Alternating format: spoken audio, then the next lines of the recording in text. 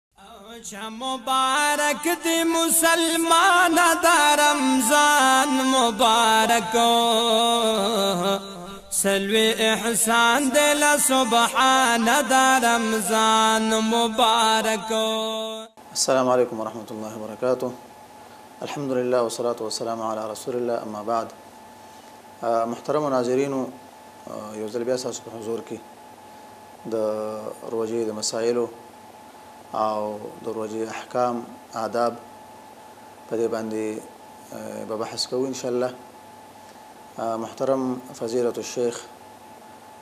مولانا حافظ فضل الربی صاحب را سره به ملمه ده په دې حلقه کې به ان شاء الله موږ د روزي د نیت په حواله سره چې نیت د کوم وخت نه کول پکار دي او آیا د نیت نه بغیر روزه کیږي او کنه کیږي او څنګه نیت کول پکار دي او د روزي هغه شان چې په هغه باندې روزه ماتيږي په دغه باندې باندې ان شاء الله نن بحث کوو هر کله یو تاسو ته محترم خیر اوسې فضیلت شیخ صاحب که د روزي د نیت په حواله سره چې نیت د کوم وخت نه کول پکار دی او څنګه نیت کول پکار دی د دې په حواله سره که ناظرین سره لږ معلومات ورکړي الحمدلله والصلاة والسلام علی رسول الله اما بعد اصلا بعضې مسایل په روژه کې داسې دي چې د مسلمان دپاره په هغې باندې ډېر زیات اهتمام پکار دی توجه ورته پکاري اولنی شی چې په هغې باندې اهتمام ضروري دی د شپې نه د روژې نیت کول بارک حدیث دی د رسول کریم صلی الله علیه وسلم چې د شپې نه څوک نیت د روزې ونه کی روزه نه کی یعنی دا اهمه خبره ده د شپې نه باید انسان د روزې نیت وکي د فرضي روزې د رمضان او به د هر شپې د پاره ځان لنیت وکي ځکه چې دا هره روژه چې ده دا ځان له یو مستقل عبادت دی د الله تعالی او د عباداتو ټولو دارو مدار چې دی دا په نیت باندې دی نبی علیه السلام فرمایي انما الاعمال بالنیات متواتر صحیح حدیث دی چې د ټولو اعمالو دارومدار او د هغې د قبولیت او د هغې د د اهمیت ټول محور چې دی هغه څه شی دی نیت د انسان دی که د یو سړی نیت بیا خصوصا په دې کې اخلاص کول په روژه کې او دا نیت سړی باید تجدید د دې نیت وکړي په هر وخت کې چې زه چې دا روژه نیسم د الله دپاره نیسم د دې دپاره چې زما رب زما نه رضا شي د بل غرض دپاره یې نه نیسم او په دې کې هدف هم دا دی چې نور غرضونه په دې کې منتفي شي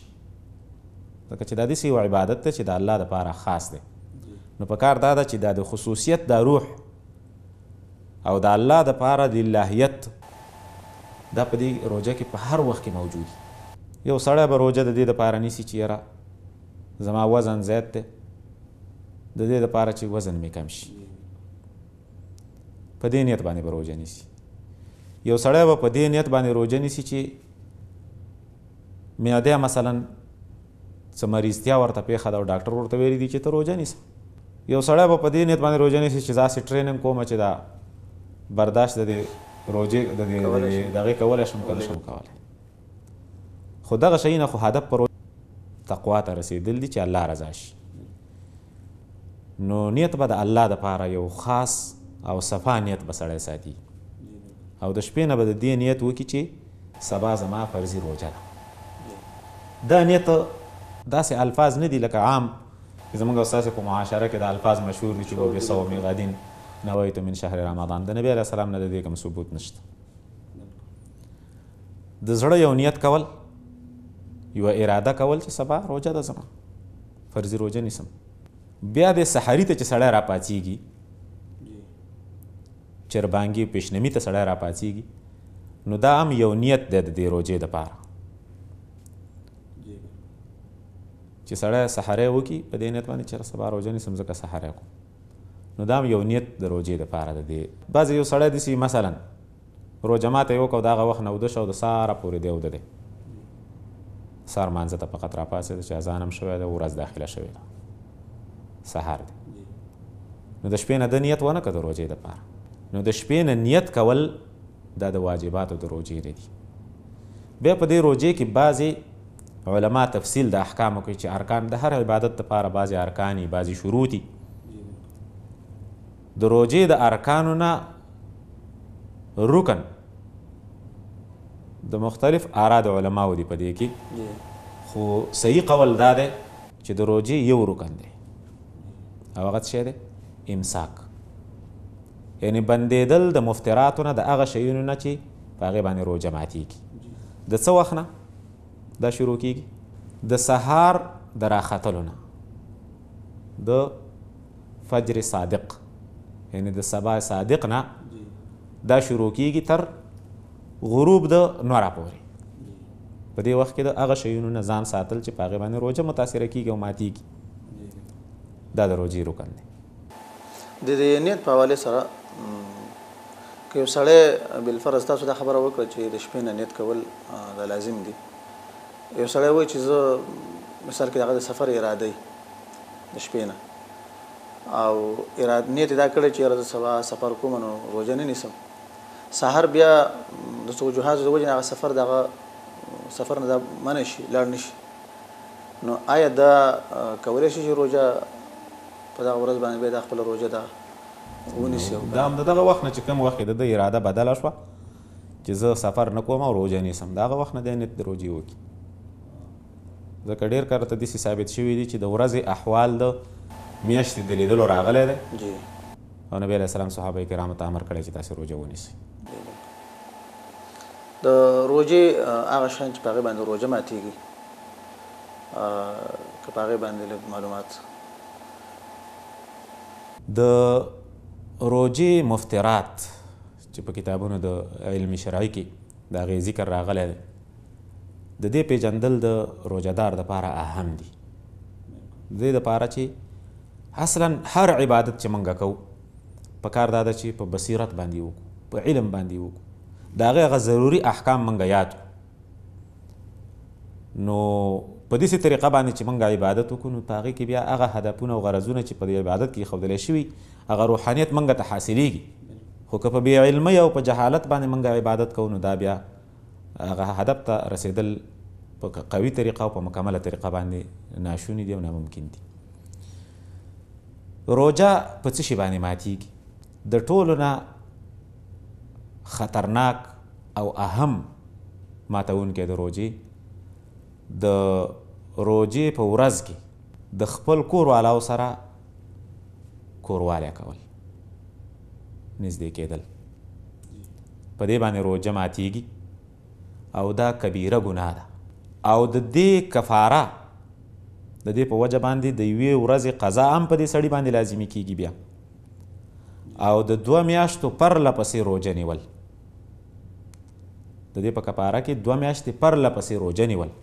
او الله ته توبه ایستل ځکه چې دا لویه ګناه ده دې خبرې ته ډېره توجه د شپې د مخې د رمضان په میاشت کې د خپل کور والاو سره تعلق ساتل دې کې کم حرج نشته د مسلمان دپاره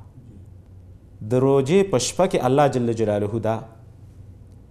حکم د مسلمانانو لپاره آسان کړ کولای شي چې د خپل کور والاو سره تعلق وساتي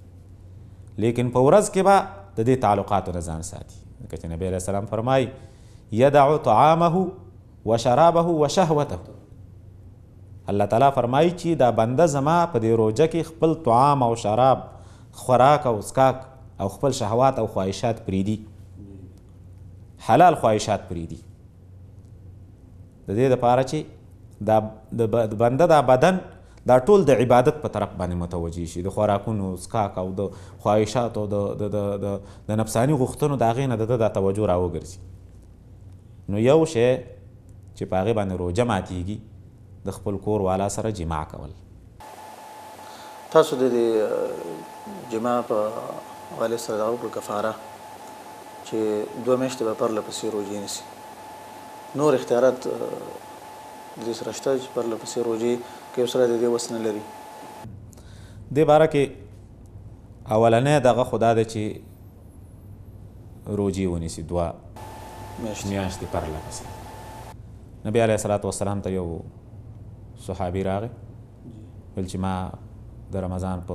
روژې په ورځ کې د خپل کور والاو سره جما کړې نبی علیه الصلاة والسلام ورته وفرمایل چې بس دوه میاشتې روژه ونیسه پرله پسې هغه ویل چې زه دا نشم کولی یا رسول الله نبی علیه الصلاة والسلام ورته فرمایل چې شپېتو مسکینانو ته طعام ورکړه نو د دې نه وروسته چې کله روژه سړی نشي نیولی بالفرض مریض کېږي د دې روژې په نیولو باندې یا د طاقت د روژې د نیولو نه لري نو شپېتو مسکینانو ته ډوډۍ ورکول هم په دې کې دي خو د دې نه مخکې عتق د رقبې یعنی د مرئی آزادول دا اولنې اختیار دی بیا دوه میاشتې روزه نیول او که چرته دغه د سړی په وس کې نه نو شپېته مسکینانو ته طعام ورکول محترم ناظرینو وړه شانته وقفه اخلو بیا ستاسو په حضور کې حاضرېږو انشاءالله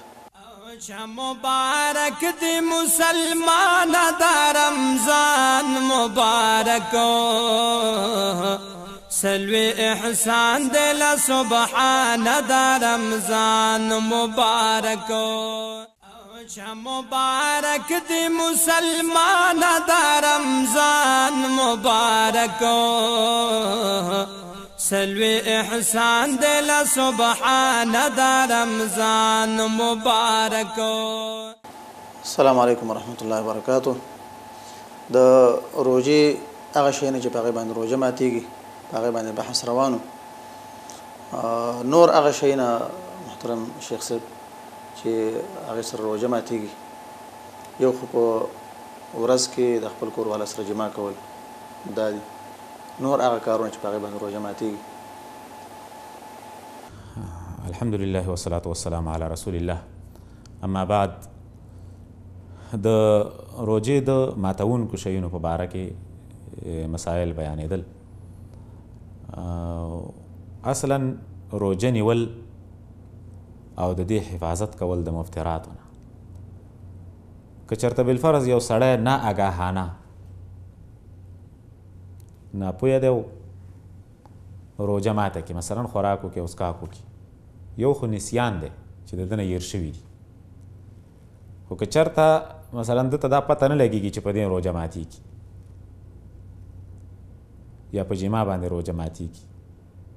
یا مثلا په داسې نورو شیونو باندې چې هغه د روژې ماتوونکي دي په دې باندې روژه ماتېږي او دی د دغه شیونو مرتکب شي د روژه ونه شوه یعنی ده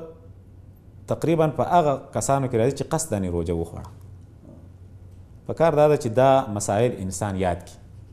د ابو هريره رضی الله عنه ته یو سړی په باره کې چې پلاني سړی روزه قصدن خوړلې ده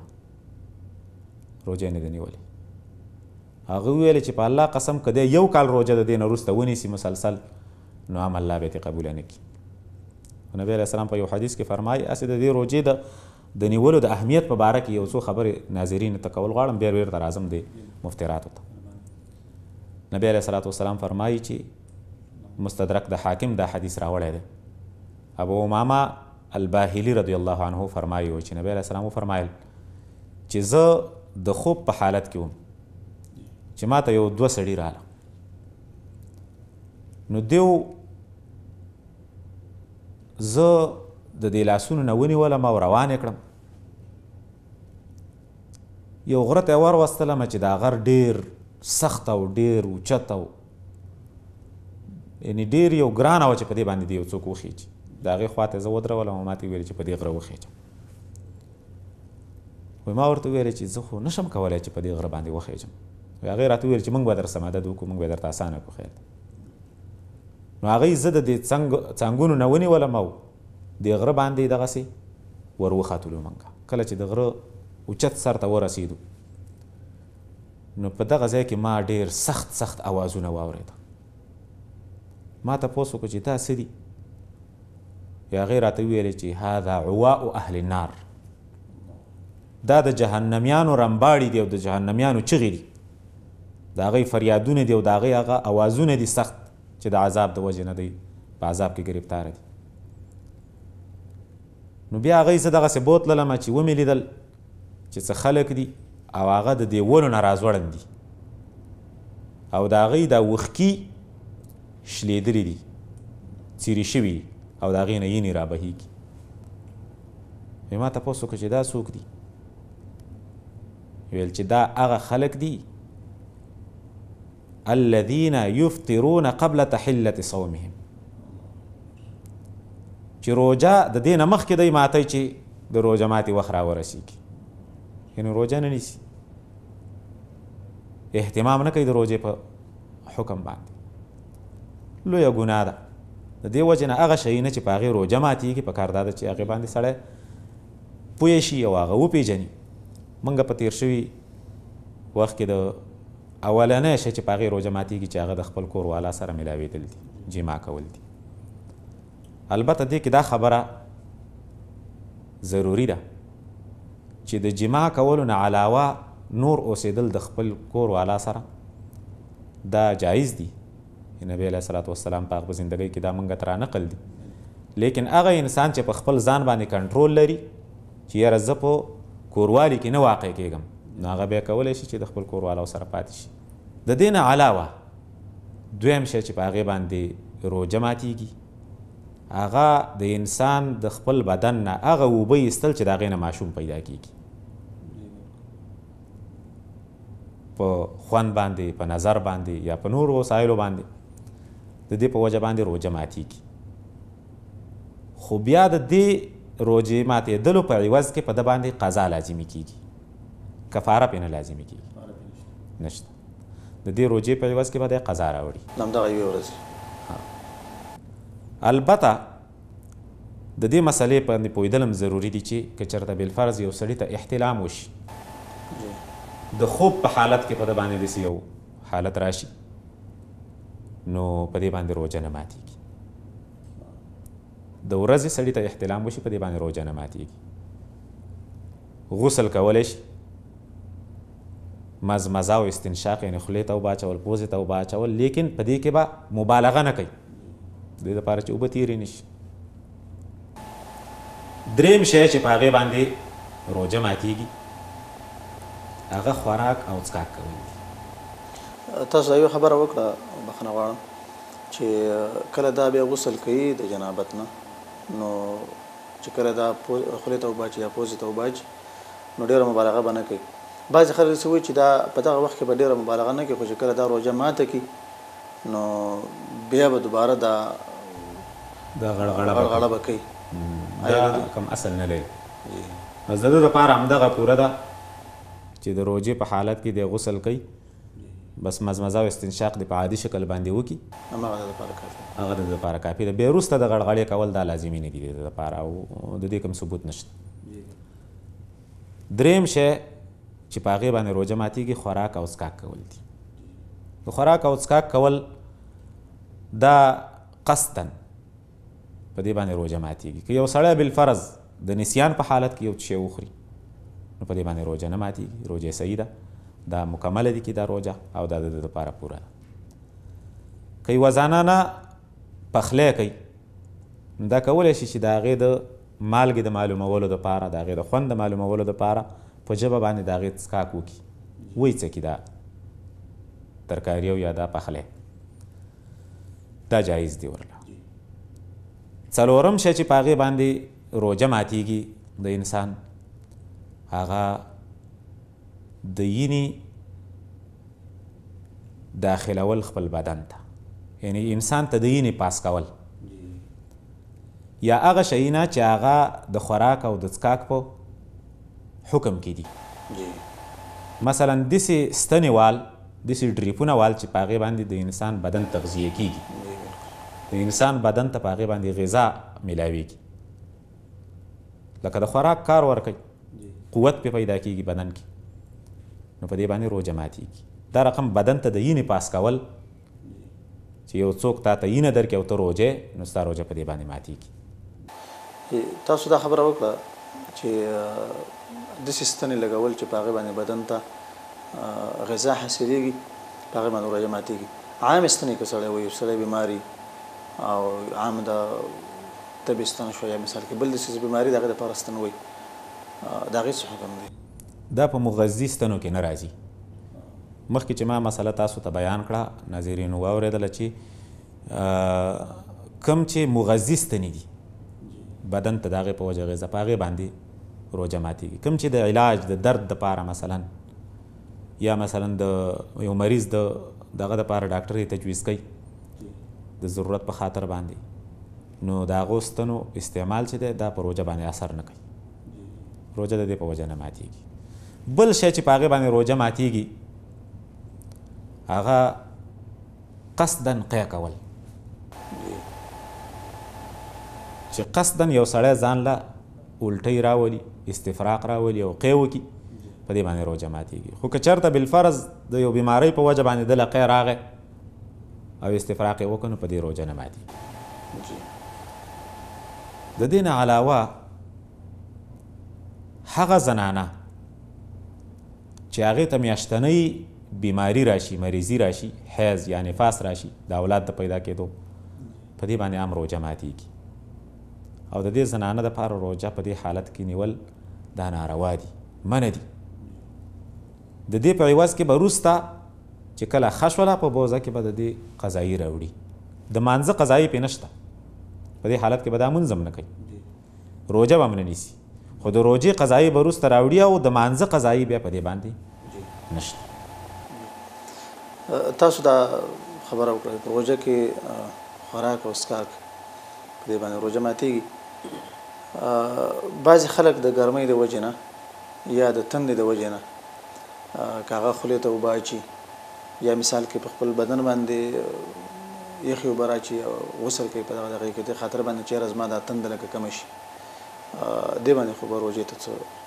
یعنی بعضې کارونه داسې دي چې هغه زموږ عام خلکو سره یو شک او شوبه وي په دې کې لکه څنګه چې تاسې اشاره ورته وکړه نو په روژه کې د ځان د یخولو لپاره لامبل په دې کې کوم حرج نشته یا یو سړی یوه لمده کپړه په ځان باندې را اچوي یا مثلا خولې ته اوبه اچوي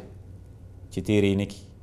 په دې کې کوم حرج نشته د مسلمان دپاره دا رقم د مسواک په باره کې مسواک وهل په روژه کې دا جایز دي البته بعضې علما دا خبره کوي چې د ماسپښین نه وروسته یو سړی ونه وایي یا څه خو عموما د مسواک وهل په دې باندې کوم ممانعت په احادیثو کې نه دی راغلی د مسواک استعمال دا په روژه کی جائز دی د مسلمان د پاره دا رقم د خوند د معلومولو په وجه باندی د انګوری او د ترکاری او د پخلی څکل دا جائز دی د لمبل جائز دی په رمضان کی اوده کیدل جائز دی دی باندی سهولت مسلمان ته ایر کنډیشن ته کیناستل او دغه سی په یخ زید ځان د پاره سهولت برابرول دا جائز دی په روژه کی یعنې الله تعالی زموږ نه دا نه غواړي چې هغه دې موږ په حرج کې واقع کړي. بلکل. چې هغه دې موږ په سختۍ کې واقع کړي. په اسانۍ باندې د الله عبادت ادا کول په دې باندې چې د انسان بدن هم ضرري نه شي، هغې ته مشکل پیدا نه شي. او په ارام باندې د الله عبادت سړی وکړي په دې باندې ډیر وي یو سکون سړي ته حاصلیږي. جی بلکل بعضی خلکو دسی یو فکر یی چی هغه وایی چی پس په زوره باندی ځان له چی څومره دی تکلیف ورکړی هماغومره به تاته اجر او ثواب ډیر ملاو شی یعنی د ځان دا تکلیفول دا د بلکل روژی هدف نه دی بلکل. الله تعالی زمونږ په وکی کولو باندی او زمونږ په تږی کولو باندی د هغه کوم غرض نشته جی بلکل. الله تعالی زمونږ نه تقوا او پرهیزګاری هدف دی چی هغه په مونږ کی راشی. جی بلکل. مننه ډیره زیاته مهرباني الله تعالی دې تاسو له اجر درکړي ستاسو په علم او په عمر کې الله تعالی برکت پیدا کړي جزاکم الله محترم ناظرینو زمونږ د دې حلقې ټیم هم دغه ځی باندې سر ته رسیږي الله تعالی دې وکړي چې زمونږ او تاسو دغه مبارک ورځ شپې په خپل اطاعت او په الله تعالی پر رضا کې تیر کی او د نیکو اعمالو کولو توفیق د الله تعالی موږ تاسو لراکي د را روان پروګرام پورې